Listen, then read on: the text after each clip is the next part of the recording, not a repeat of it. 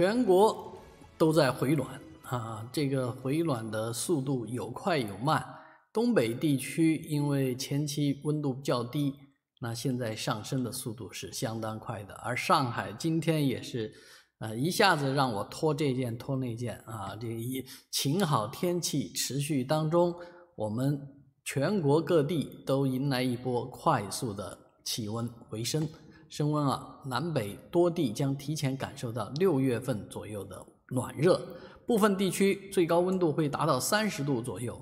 啊，偏暖的程度也是同期罕见。而江南一带地区是跑步入夏，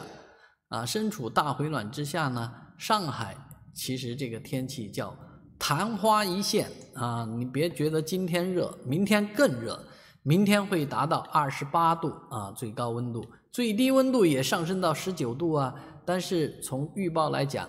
本周深成上海拿到的仍是回暖体验卡，冷空气和两波降雨蓄势待发啊！受其影响，七天之内呢，温度啊波动幅度将会达到十一度之大，所以到后期啊，本周的后期就是跳水，气温会一直跳到十四到十八度左右。而且到周日的时候会有降雨，那上海有望跑步入夏吗？啊，根据深成入夏标准，立夏之后连续五天的日均气温超过二十二摄氏度即可判定为入夏。但是我们现在距离五月六日立夏日呢还有半个多月时间，所以再高的温度它也不叫夏天。